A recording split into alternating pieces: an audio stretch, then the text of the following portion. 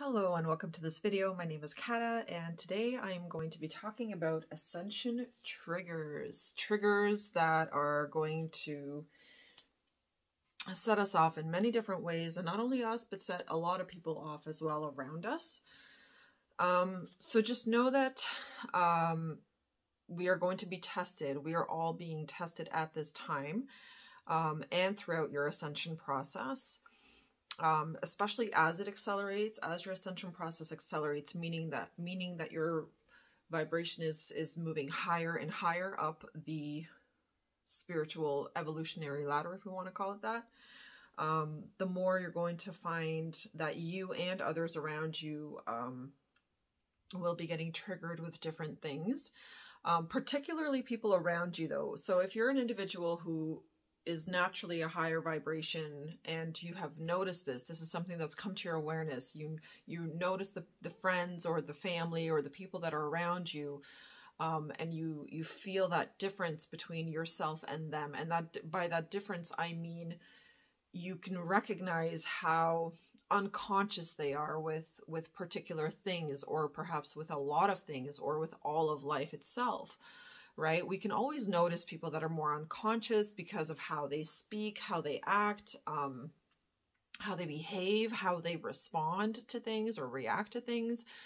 Um, based on the content they watch, based on, you know, there's so many different things, so many different markers that will show us basically where someone is in their ascension process or how conscious or unconscious they are. The more you're into like low vibe shows and the more you're into like the horror and the dark shit and the more you're into um um you know like these these criminal shows and like uh oh what else I want to use for example. Like, just like the more you're into watching like really low vibe, stupid shit, basically, the more that indicates that you're not at a high vibration. You're not feeling aligned and you're not aligned with a higher vibration. You're choosing to stay in a lower state. You're choosing to stay um, basically in a lower vibration. And that choice is usually coming from again an unconscious place. It comes from a lack of awareness.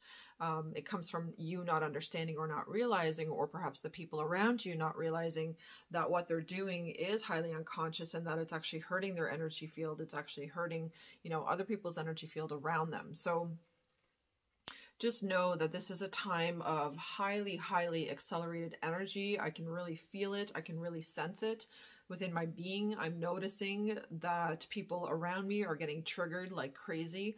I actually myself was really, really triggered earlier today um, through having a conversation with my baby daddy. You know, we've been separated for nine years, and yet there's still a certain amount of uh, domination and control and manipulation that he tries to exert over me. And you know when i stand up and and i'm assertive and i and i push back and i don't allow it that really sets him off you know i can really sense his feeling of lack of control over me when i take my power back so but i don't want to get into my um kind of situation this morning too much. I want to focus more on the notes I've made here for you guys about this whole uh, ascension triggers. And basically, this is everything that I uh, got awareness about and I also realized in the process of me getting triggered this morning and him also getting triggered. Um, so um, this is just kind of like everything I channeled and everything that kind of came down for me. So old lessons return with people from our past. So don't get triggered, but if you do get triggered, because there's going to be situations coming back around. Again, things that the universe feels they need to test you on to really solidify a certain lesson, to really drive it home within you, right? Do you still get triggered? Do you still allow people to, excuse me, talk to you in a way that is um, disrespectful or, or, you know, down talking? Like, are these things that, that you're still allowing, right? And that's why these tests come. They don't come to, to just challenge you for fun. They come to challenge you so that you can have the awareness and recognize within yourself, first of all, how you show up and how you respond to the trigger itself. And second of all, to help you realize and see clearly where that other individual is at vibrationally, where they're at mentally, spiritually, within their heart and mind, uh, where they're at emotionally. And the only way that we're going to see that is through contrast, right? Is through them repeating certain patterns and certain behaviors uh, with us so that we can get um, that awareness and realize what is actually happening and why they're behaving towards us that way. And it's also about realizing like what within me is still attracting this, what within me still needs clarification, what within me still needs um, modification and and a rerouting. How can I possibly not get triggered, right? Because that's ultimately the question: is how do you not get triggered? And we'll get to that in a moment. Now, if you do get triggered by someone, um, then the number one thing that I'm going to recommend for you to do is go outside immediately and ground yourself. You have to ground your energy. I was so upset this morning that I was like literally shaking. Um, so I really, really, and and that shaking happens because you lose a ton of energy when you get upset, when you get stressed, when you get angry at someone, when you feel um, injustice is happening, when you feel like something is really unfair. Then we we lose a lot of power in that moment um, because we feel victimized, right? And it's not to say I'm not a victim, but I felt victimized in a way, right? And that feeling of victimization and that feeling of it, of being attacked, especially for no reason, um, really, really took a lot of power, a lot of my energy. And so I, that's why I was shaking and I was just really, really upset. Like within my whole entire being was just like messed up from that conversation. So, you know, and thank goodness I was actually outside when I had that conversation. So I grounded myself immediately. I went and I found a tree to hug and I hugged that tree, I swear to God, for like 10, 15 minutes probably because I just, I needed that nurturing and I really just needed to ground and flush that energy out of my system because I didn't want to bring it back home with me. You know, I was in the forest. I was I was on a hike actually when I received this this upsetting phone call and I didn't want to bring that energy back with me because I went to the forest to to decompress and to ground my energy in the first place, right? But I found it to be extremely helpful that I was actually in the forest when this happened because immediately I had access to trees and I had access to just nature and it was quiet and it was peaceful and absolutely beautiful and it really helped me come back down very very quickly as opposed to before where in the past I would you know probably think about it and replay what he said and what I said and what I wanted to say and what I should have said um, you know, 400 times in, in my mind, and I probably would have drawn that out over even days. Um, I there's been times in the past where when I got triggered, I was so triggered that I was triggered for for hours, and if not hours, then sometimes it went on for literally days and even weeks and months at times. You know, where you just kind of keep replaying scenarios in your mind, and just like coulda, shoulda, woulda, like doing that kind of thing in your mind that that's what i'm talking about. So and this time i didn't i didn't go there. I didn't allow it. Um i i was able to calm myself down honest to god like within a, matter of a couple of hours like which is amazing where before like i said i would have hung on to it for days and i would have been upset and and felt extremely victimized for days.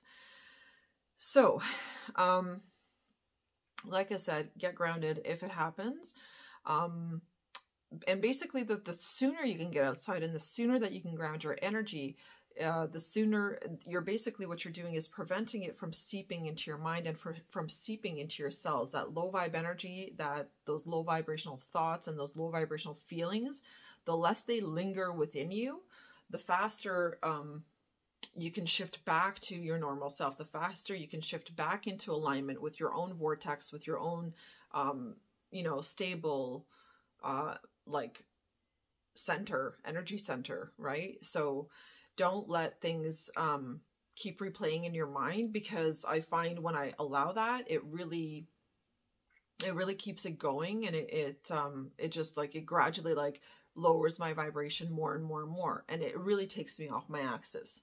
So and we don't want that right? Because the more you're off your axis the worse you're going to feel. And then the more you're going to project that those bad feelings onto other people as well now, as your vibration goes higher, this is something that was a very, very clear message I got this morning. Is as our vibration goes higher through the ascension process, the the people that are in our lives, um, friends, family, uh, co-workers, literally acquaintances, like literally anybody that is in your life, those people are going to feel this and they're going to sense this energetically.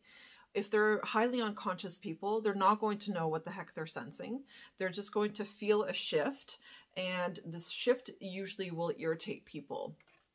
And it irritates people, especially people that are, like I said, at a lower vibrational state than you uh, once we make a conscious choice to elevate ourselves, elevate our minds and our entire beings, and once we start to take action steps to actually uh, keep ourselves elevated and to push ourselves up and to keep ourselves up, um, the people that are in our lives are are really going to sense that, and some people are going to be super proud of you and super happy for you. You know that you're making changes and that you're um, paying attention to like your personal needs and whatnot. And other people are going to feel extremely uncomfortable. And the reason why um, those people are going to feel uncomfortable is because um, what we're doing with our higher vibration is we're we're triggering feelings within them that they're not at that level or that they're not at the right vibration because everyone knows um, subconsciously like kind of where they're at, right? When you look out into the world and when you look at just anyone really outside of yourself, right? What we tend to do is we compare ourselves, right? This is a natural human thing that the brain does is we we compare ourselves to other people. And we're doing this actually subconsciously in in most cases, not even necessarily consciously.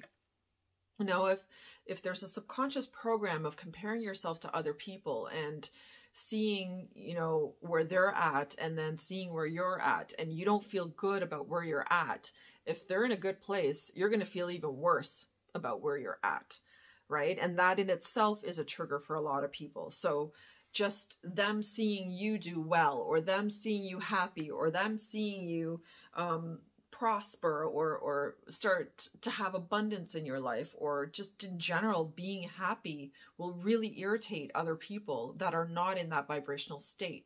Because what we do is is since we're all connected and since we're all truly one and since we're all swimming in the same energetic soup we're all connected energetically and so we're all pulling on each other and we're all constantly feeling that pull within ourselves that we should do better, that we should try harder, that we should um, put more effort into self care, put more effort into fixing our lives, particularly fixing the things that are not working in our lives. And when that pulling starts to happen, and the more that that certain people are doing the work, other people who are not doing the work are going to feel that and they're they're going to be so bothered by that because they know and they will feel innately within their heart and within their soul that they should be doing the work, but they're not doing it. And that not doing the work is going to build so much like resentment and low vibrational feelings towards the people that are doing the work because they know darn well that they should be doing those same things, but they're not doing them for whatever reasons. And usually the reasons don't matter because those reasons are always based on choice. At the end of the day, everything comes down to choice.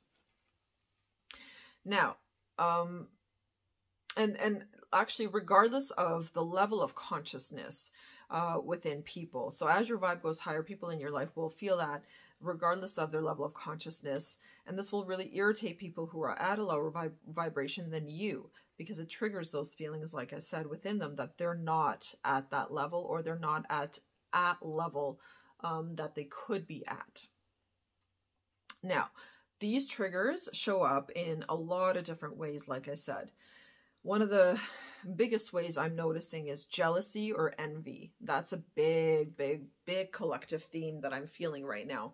There are a lot of people out there that are feeling very jealous or very envious of people that are successful, people that are doing well. And this is absolutely obviously silly and ridiculous because if you want to do well in your life, you're going to have to make some changes to do well, right? Um, but most people are not willing to make those changes. They want to keep living their comfort zone life while expecting changes to happen externally, right? And for things to just kind of come into their life. And then they compare their lives to the people uh, that are successful, that are doing well. So jealousy and envy is is definitely one way of how this trigger may show up for you from other people that you know and, and you're going to find that some people are jealous of you and envious of you.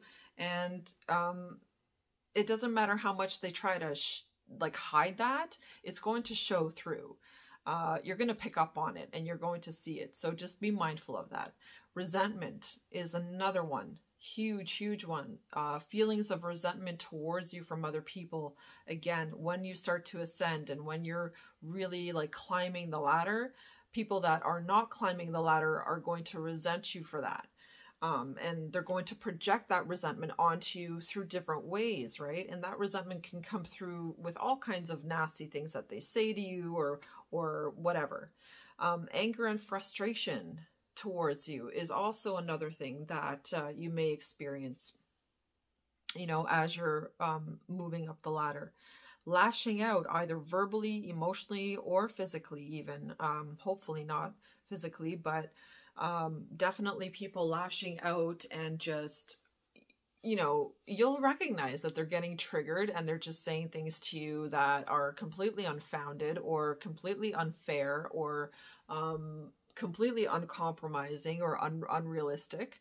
Uh, so again, be mindful if people are lashing out towards you verbally, emotionally, or just saying things to you that you know is not true or that you think is not fair, then know and just understand that that's why they're doing it because your your ascension is irritating them because they're not doing the work rubbing things in your face. That's another one. I experienced that one this morning. Actually, I've experienced all of these so far this morning, and this is exactly what I was feeling from my baby daddy um, because the conversation we were having was displaying that exactly. Like I felt this, this, this energy of like jealousy and envy coming through because I'm living my truth and because I'm choosing to to walk down a new career path, you know, that is more fulfilling and more um, serving and more in alignment with me, where he is not and he's staying stuck in a job that he no longer enjoys doing you know and and i know that there's jealousy coming from him towards me because of that. And then the resentment you know the resentment was coming through that even though we've been separated for nine years he still resents me that i never went back to him you know even though he made some pathetic attempts in the past to reconcile with me. And I, I i chose not to reconcile with him because i knew and i could clearly see that we were not on the same level. And i told him that and i explained that to him in many different kind ways. Um, but he he's not there right? He's not at that level of consciousness to understand that with his heart. He's very much still stuck in his ego state. Um, and because of that he resents me and he doesn't understand why i never wanted to get back together with him. Uh, the anger and the frustration that certainly came out this morning, you know, um, with everything that he was saying to me. And he was just angry and, and frustrated with me because he was actually mostly frustrated with me because he knew that he couldn't control me and he he doesn't have that hold on me anymore he's not able to manipulate me he's not able to coerce me into things like he just he doesn't have control and that lack of control um, that he once had over me now that that's gone like it frustrates him and it, it makes him like really angry because that was that was something that made him feel more stable having control over me and control over us over me and my daughter. Uh rubbing things in your face that was something he did uh this morning as well quite a bit. So just bringing up a whole bunch of unfounded um situations uh or examples uh and and like literally trying to like well i do this you know and you don't do th- this or you don't do enough or or whatever right? He was he was trying to convince me that i don't do enough when i do fucking 90% of the work with our daughter. But anyway. And i'm saying this as an example because if you're a single mom or if you're someone that has you know a difficult person in your life like these are some things that are going to come up. And these are some some things that people are going to throw in your face and and um, you know, even if you don't have kids, it could be regarding other stuff. So it could be regarding work, actually. Uh, narcissistic behavior, that's another one. So blackmailing, gaslighting, all of that. And, and, you know, I'm just going to tick that box for this morning's conversation because that kind of went down too. He was definitely being narcissistic. Everything was all about him. And, and I was the bad guy because I dared ask for an extra day for him to take our daughter. So yeah, narcissistic behavior, the gaslighting definitely, um, are, you know, triggers that may show up from other people. Uh, threats, comparison, and pettiness. Those were also things that are, you know, um, that I actually experienced in our conversation too this morning. So, um, you know, comparing again, like who does what and he does more, or so he thinks. Um, you know, just being extremely petty and like childish uh, when it came to, you know, assessing, you know, how we kind of show up for our daughter as we're co-parenting. Um, and then even there was even a little tiny hint of a threat uh, slipped in there regarding the child support that he currently pays, which I thought was just like hilarious. I'm like, really? You're threatening me? Um, overstepping personal boundaries, and that was that was the the biggest part. So the entire uh, conversation and the entire situation I had with my ex this morning was was all about overstepping boundaries, and that's exactly what um, what I kind of chalked up the whole thing to be. So I understood, like I knew. I knew that that's what he was doing. I understood right away that he was trying to overstep boundaries. He was trying to, um, again, uh, just manipulate and control someone or something or or more than one person in his life because in this case it's me and my daughter um you know in ways that work for him right? That serve his narcissistic needs. Um two-faced behavior. So you know Two-faced behavior too is something to definitely look out for. And I'm going to say use your intuition on that one because two-faced behavior is something that you can spot like a fucking mile away if you're really, really aware and if you're paying attention to people's body language and to what they're saying. I find um, I can now really pick up on body language and what they're saying and, and like how it doesn't match between people like or, or with people as I'm uh, talking to them. So if someone is saying one thing but their body language is saying something completely different to me, I can really pick that up. And with that, I know that they're being two-faced in that moment. Um, they're not being honest about how they either truly feel or about what's going on with them for real. Uh, and they're just trying to hide that. So don't fall for that. It's definitely a very, very common and you have to pay attention and be very aware to not miss it because see it's all about how you show up too with with your ascension process and as you're ascending and as you're going through and as you're doing the work and and doing the self-care and loving on yourself and and feeling good within yourself the more that we do these things the more you know people that are not doing those things are going to be irritated. The more they're going to try to stay in our lives because they love that energy they love the high vibe it's it's very um like it, it fills them up, you know, it fills their cup because I want to say I always use the cup as as the uh, emotion, the holder of emotions. So it really fills their cup, right, to be around you and to actually leech off of your energy and become an energy vampire and kind of feed off of your energy. But if you recognize who people truly are for what they truly are, and if you can recognize where somebody's at vibrationally or at what level of consciousness they're at, like I said, based on their behavior, based on their, the friends they have, based on, you know, whether they drink or do drugs, based on um, what they watch and like what they eat and whether they take care of themselves. It's really like so obvious, like glaring in our face obvious of the people that love themselves and take care of themselves and the people that don't. Okay, it's very, very obvious. So the more you can recognize it, the more you're going to avoid uh, getting triggered by those people, and the more you're going to actually avoid um, any triggering situations with those people. Now, how to handle triggering situations is the next part of what I'm going to talk about. Um, so I've got several different suggestions here of how you can deal with uh, triggering people or situations, the very, very first thing I'm going to recommend to you, and this is what I did this morning, is breathe. Just breathe. take a couple of deep breaths, especially if you just got triggered, especially if somebody just pissed you off or said a bunch of nasty things to you that you know you didn't deserve. Just breathe. Take long, deep breaths and slow yourself down and go uh, go outside is the next thing I wrote down. I was going to say go within, yes, um, but uh, go outside immediately. Actually, try to ground your energy immediately because what happens when we get triggered um, and our energy gets kind of thrown off by someone is that we we immediately like get ungrounded. We get off kilter. We get we get ungrounded um, because we're up in our heads, right? In that moment. As soon as somebody says stupid shit to you, you're in your head and your thoughts are going a mile a minute and you're just kind of like trying to process and trying to like figure out what you're going to say next, right?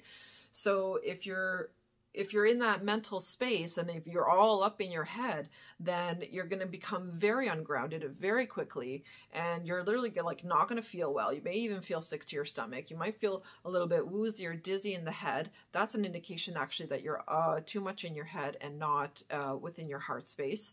Um, so getting grounded is going to be extremely important. If you can have difficult conversations outside, I would actually recommend doing that Go outside and have those conversations outside because you're automatically grounding yourself. Set the intention to ground yourself as you're having this conversation or before you're about to have the conversation if you have control over the timing of it. For me, thankfully, I was outside already. I was hiking in the woods when I received this phone call. So, um, that was really, really helpful. But if you're inside, just try to go outside, go for a walk, you know, get or put your earbuds in or something so that your conversation can be private, but but definitely try to have it outside. It'll make a huge difference. Um, now, the next thing in terms of how to handle triggering situation is remember why the triggering is happening. So try to keep in mind when someone approaches you extremely unconscious. What does unconscious means?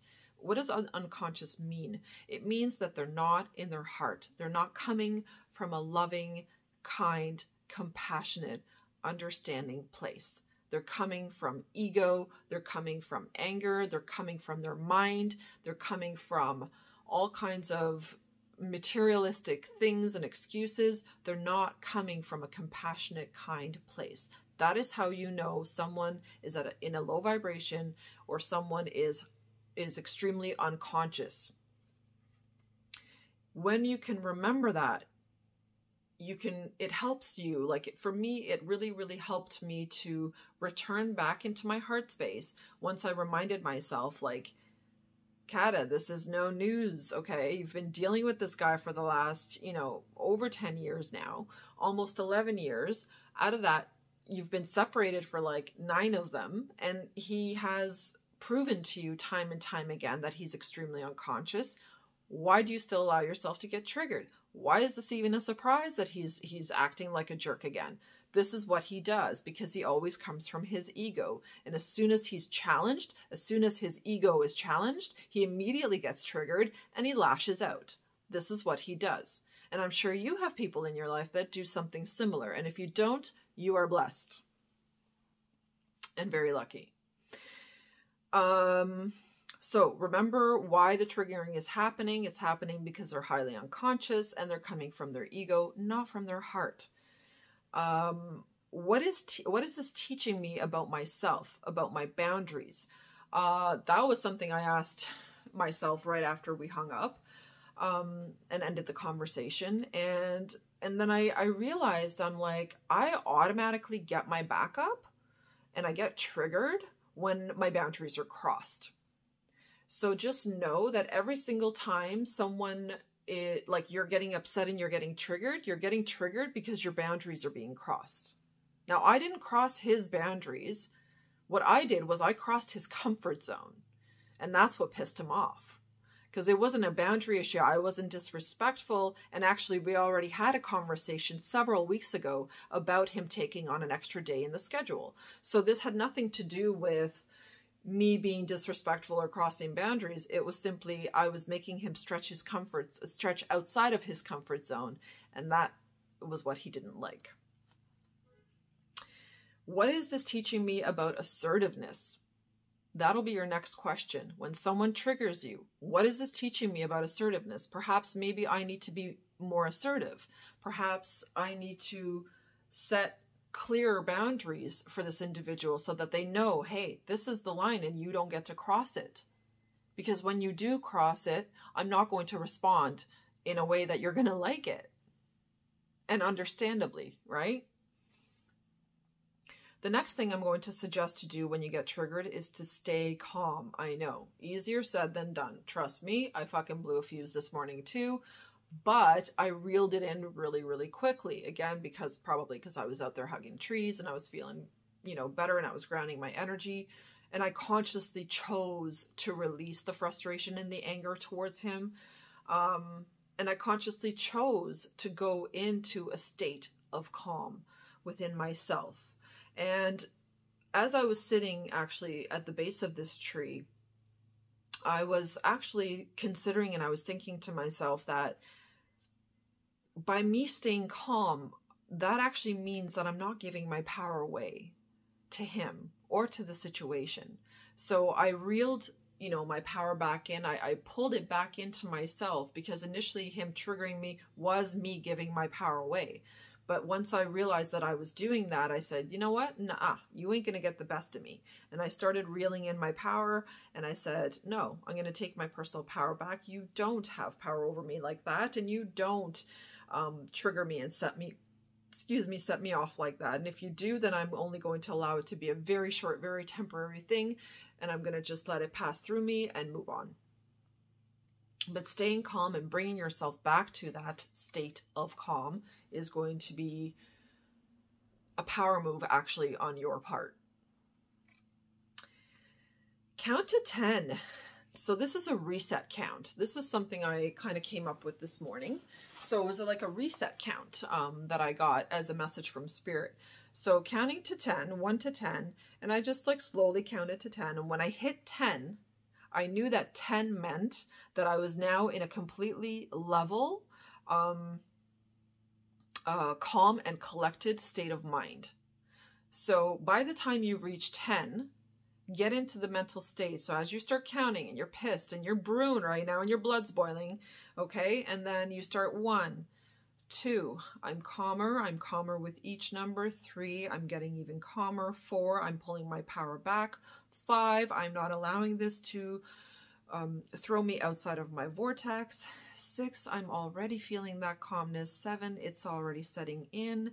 Eight, I can now feel it in my heart. Nine, I am there. I am calm. Ten, I have reset myself and I'm back to me.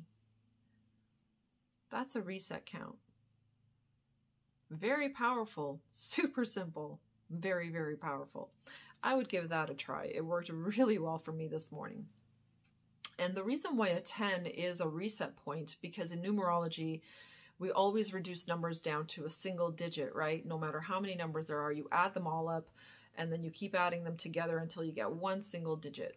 So I, you know, one plus zero equals one, right? And one is the start of new beginnings of a fresh start, right? So that's that re uh, reset calming and collecting um, number. So the next point is walk away or let the person know that you are ending the conversation if they are um, and if they are calm or willing to be respectful, then you can pick it up another time. So this was something I said to my ex this morning, although he didn't really appreciate it all that much, but I said, you know what? Uh, if if this is how this conversation is going to go, I'm hanging up, and let's revisit it when we're both calm. Uh, he wasn't really having that, so it didn't kind of go that way. But I did manage to calm things down enough with him that we were able to still get to a place where we finished the conversation, and it was because I didn't allow it to continue basically but we finished the conversation and we both said goodbye so there was no hanging up on each other there was no disrespect in that way but I did let him know that, you know what, this is where we're going to end this because I'm not going to just keep fighting with you. So walking away sometimes is the best thing, especially if you're in person having a, a, disagreement or an argument with somebody or a conversation with somebody and it's going south real fast. Then just walk away. Just say, you know what, I don't think either one of us is in a good mental space right now or emotional space. So I'm just going to go for a walk and calm myself down. Maybe you should do the same. And then when you're calm, then let's talk again or come back again, you know, maybe tomorrow or whatever. Um, now, the last kind of three, I'm just down to the last three points here. So if it's someone that you have to compromise with, like for example, with me, with my baby daddy, we have to compromise, right? Because we're co-parenting a child, right? We have nothing to do with each other's personal lives. And he's moved on many, many years ago and has been dating somebody else. Um, so at this point, it truly is just co-parenting. But because of that co-parenting, obviously we have to stay civil and we have to stay, you know, in in in a good place with within this co-parenting relationship, right? So if it's someone that you have to compromise with, um, prepare for the next conversation by writing down your points to validate your truth. And this is something that I've also done in the past with my ex, where I've had to write um, kind of like a list of, of points uh, that I knew I needed to bring up in conversation. And I knew that I would potentially forget to bring some of those points up in conversation if I was just going to try to have a conversation on the spot with him, right? Especially if he triggers me and I get upset, then I can't think straight, and then I'm definitely not going to be able to bring up those valid points. Um, because when I do bring up valid points, then usually he kind of thankfully has enough awareness that he'll kind of just, you know, check himself a bit and he'll be like, oh. So, you know, but I need to be in, in a in a calm state of mind to be able to bring up those uh points. And and again this is about my truth. So it's not about his. I just simply present my truth and say well this is how i see things and this is how i feel about things and this is why i need this that or the other thing now if you are dealing with somebody who is not flexible coming to my next point like at all not flexible at all, not willing to compromise at all, just extremely unconscious, extremely asleep, has absolutely no desire or no capacity to be in their heart space. They're only in their mind and ego and they want to fight you on everything. In those situations, I'm going to say cut your losses and walk away for good. Just close the door on that person altogether. There's no point in trying to convince anyone that is absolutely asleep and will not even listen. There's just no point. You're wasting your energy, your breath, your time, your everything the best thing that you can do for yourself in that moment is truly recognize who you are, recognize your power to to control this situation by walking away. And basically, by doing that, you're not allowing any more triggering to happen from this individual. You won't be triggered, he won't be triggered, or they won't be triggered. And, you know, it's a win win. Somebody always has to be the bigger person. And the very last point uh, here for how to handle triggering situations is don't take on their energy. Cleanse it if you do. So for um, when we have these difficult conversations or when we have these triggering moments with people, what happens is we can form energetic cords with them. And if you don't detach that energetic cord, if you don't cut that cord, that cord will grow over time and it's and and what what happens is within that cord, there's information that is traveling. This cord is invisible, you know, but just kind of imagine like a rope around you. Um, and, and then there's like the rope and then there's the other end is, is tied onto somebody else. So that's what a cord of attachment basically is or looks like, um, but it's energetic, so it's not visible to the naked eye. However, it's still there and it still forms. Cords of attachment only form in situations where we are triggered, where really intense uh, lower vibrational feelings are brought to the surface and they are continually fed with our thoughts and with our feelings. And of course, continually fed in the 3D through uh, having conversation and continuing the argument and not giving up the fight. Okay, that's how those things will um, perpetuate. But you can cut these cords of attachment for yourself. You can certainly ground the energy within yourself, like I said, by hugging a tree, sitting at the base of a tree, asking that tree to ground your energy, asking Mother Earth to take all of these lower vibrational energies and transmute them for you and in the meantime sending her love and gratitude and respect in exchange for her taking away those lower vibrational feelings. So don't take on people's energy and don't allow their energy to penetrate you to the point where it completely throws you off kilter and messes you right up. I've experienced this multiple, multiple times with family members, uh, like I said, with my ex, um, with lots of different, with even some clients in some cases uh, long ago. So this is something that I just don't allow anymore. I have enough awareness and I've grown and I've implemented many of my life lessons to the point where I just don't allow that to happen. If I do feel like something is off within my energy field and I did take on their energy, then I will absolutely take steps to eradicate it to make sure I bring myself back up to a high vibe. And I do that by going into nature first and foremost. It's it's the most healing place of all places.